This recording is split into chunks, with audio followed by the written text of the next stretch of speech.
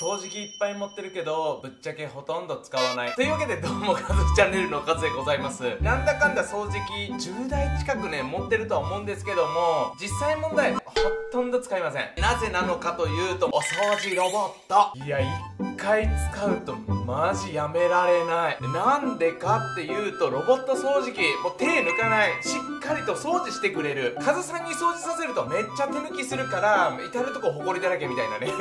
えほんで私はね何台もロボット掃除機持ってるんですけども実はですね今回新製品手に入りました。あの昨年末に発売されたですねじゃじゃじゃじゃーんはい、えー、こちらになります。ロボロック S6 でございますね。これ面白いのがねなんと数数はもちろんできるんですけども拭き掃除までこれ1台でやってくれるっていう。私ね複数台ねロボット掃除機も持ってるんだけどもこんなの初めて。1台で全てが完結してくれる。さらにはですねレーザーセンサーが入っておりますのでマッピングもねやってくれるなど。いやめちゃめちゃ欲張りだなお前。というわけでね早速やってみたいなと思います。ほんで今回まあ水拭きができるっていうのもポイントなんですけどもそのマッピング機能についてスマホでリアルタイムでなんか作ってくれるとかくれないとかくれ,、まあ、くれるんだけども、まあ、それでまた便利な使い方ができるんですよ。ロボット掃除機あるあるでねあここ行ってほしくねえのにお前なんで行くんだよみたいなね。そういうのもあるんですけどもスマホね連携させることでそれをねうまいことやってくれる。さあというわけでこちらが本体でございます。いいですねホワイト家電で。ほんでこれからレーザーセンサーが入ってるのね。なんか上にポコンって出てるよねなんか。ここ司令塔ですこれ司令塔ですみたいな。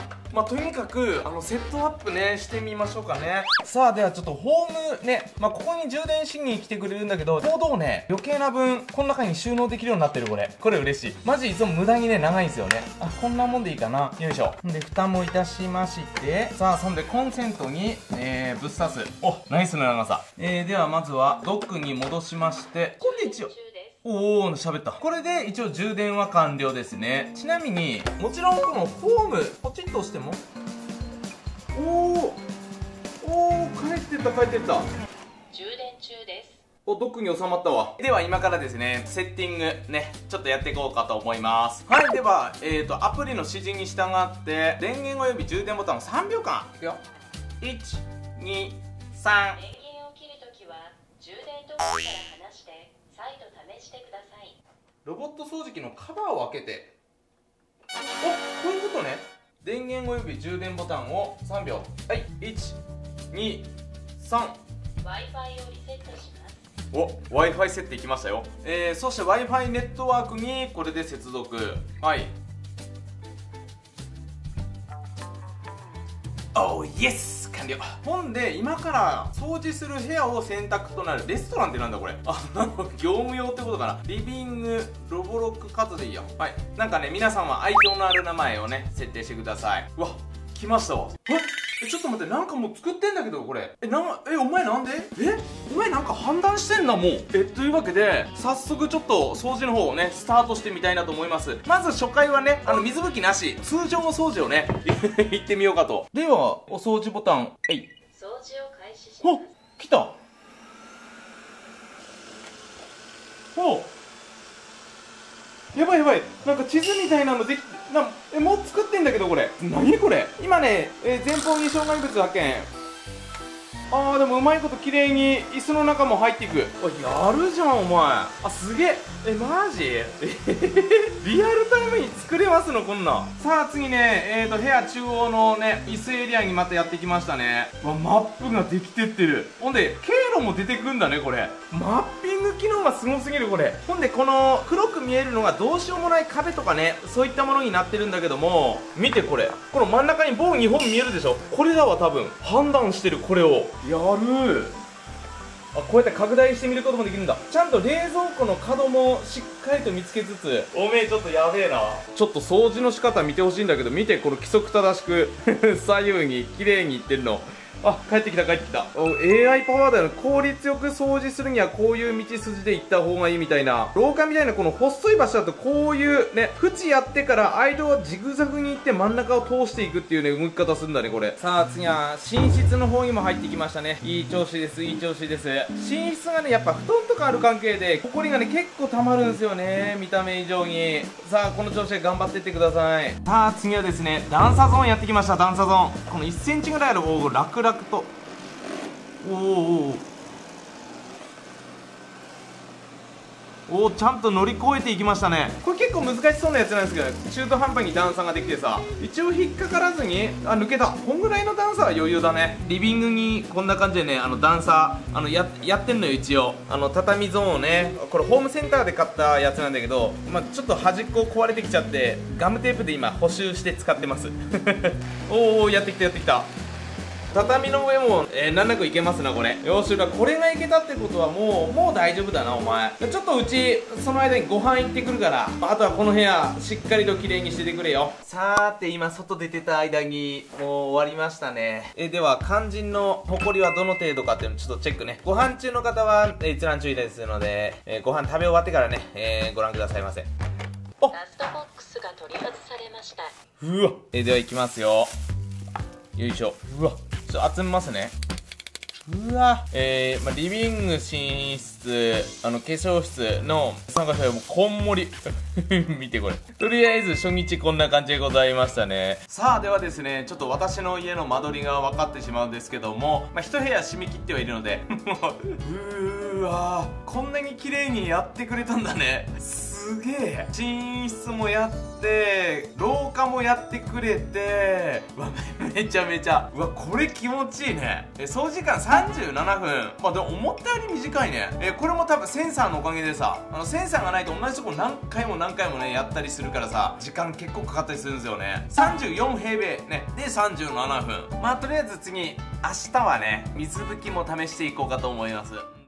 おつざます、えー、翌日です。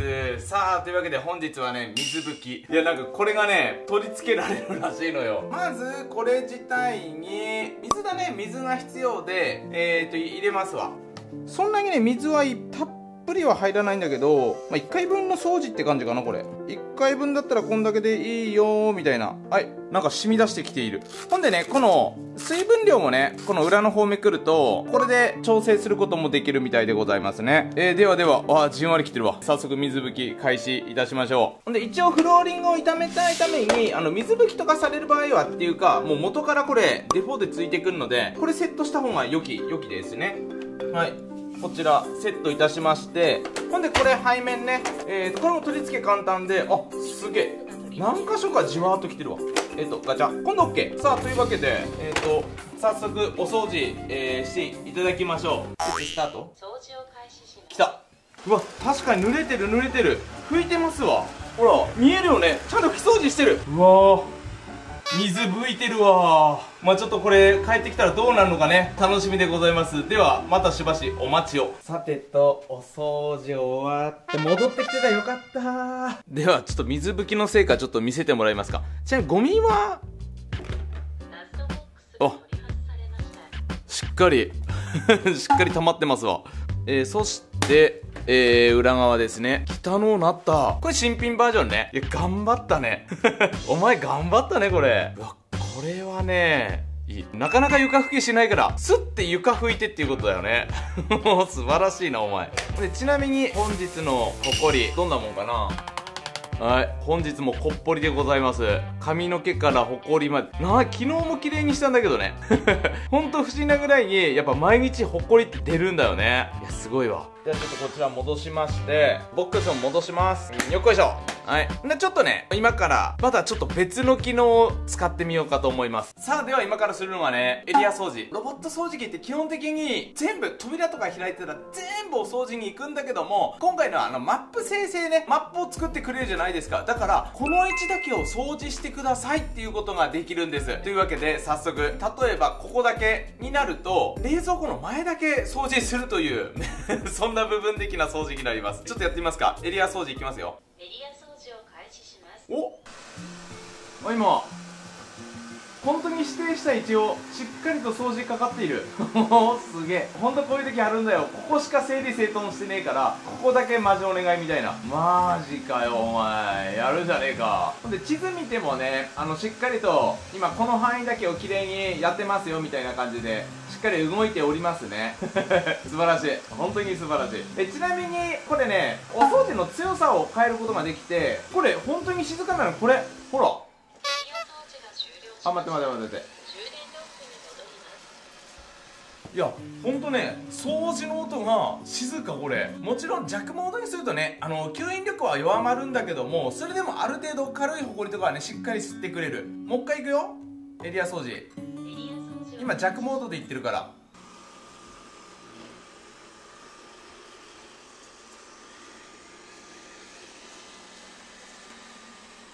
ほらほんで今近くでねメーカー名言わんけど掃除機かけるとこんな感じ。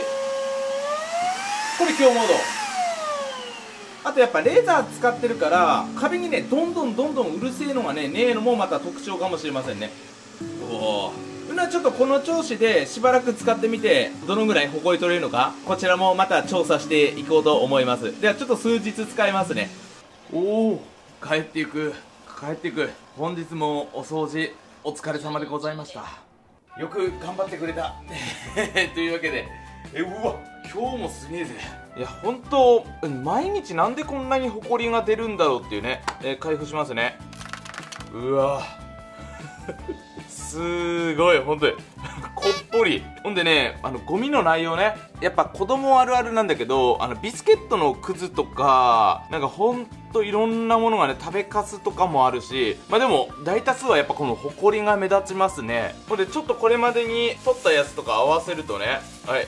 はいじゃばーんはいこちらもじゃばーんほんでわなんか固形物おもちゃのなんなんかなんかあんな。吸引力もなかなかすごくてパチンコ玉とかそれすらね吸い込んでしまうんですよこれ。ほんでジャバーンと。やばい本当に見てこれ。こんなこっぽりですよ。ロボット。あ、ま、待って。エリちゃんのピアスみたいなのもなんか吸い込んでたわ。ゴミチェック大切だね。